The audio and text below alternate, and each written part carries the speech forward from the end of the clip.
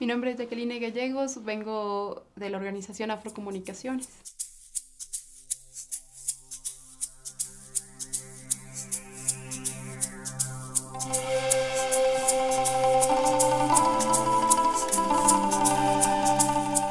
A ver, yo elegí afrodescendencia, afrodescendientes. ¿Qué me sorprende de esta nube? Eh, como al inicio siempre la palabra afrodescendiente está ligado a cultura, manifestación, en un inicio, ¿verdad? Pero al final de esta nube se encuentra lo que es conocimiento, educación, desarrollo. Lo que te deja ver más bien es cómo nos están viendo. Entonces sí, el pueblo afro es música, es danza, es cultura, pero también es proveedor de grandes conocimientos científicos, también es generador de conocimientos y eso no se lo dice o está en los espacios más bajos.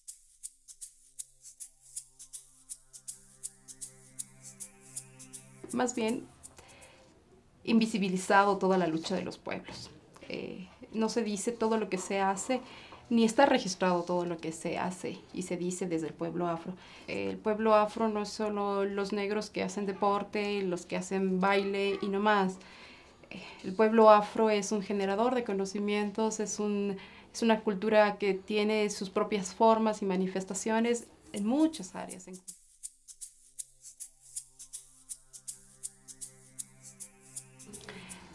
La representación debe ser desde, desde su cultura debe ser desde esas riquezas que también te dan y te identifican distinto y diverso. Entonces se debe enriquecer eso, no debieran ser unas cosas que te, que te excluyan, sino al contrario, que te suman.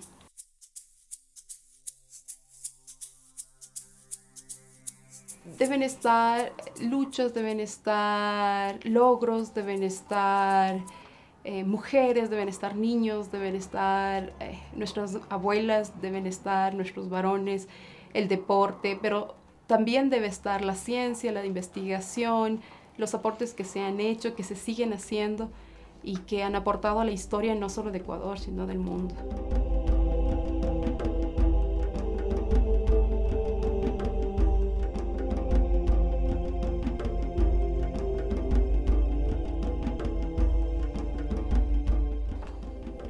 Afrodescendiente.